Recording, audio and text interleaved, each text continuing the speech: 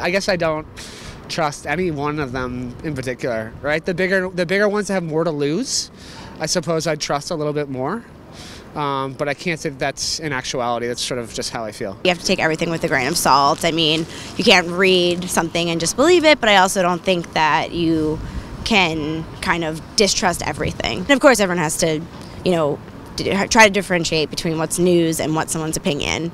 And but again, with social media and how everything's on the internet, sometimes I think for some people it's hard to differentiate that. Certain stuff, yes, you could rely on it, like the weather and certain stuff. But when it comes to politics and all that and everything, we don't get the honest truth, you know. I always trust the news Nowadays, you are getting common on uh, apps, uh, mobile apps.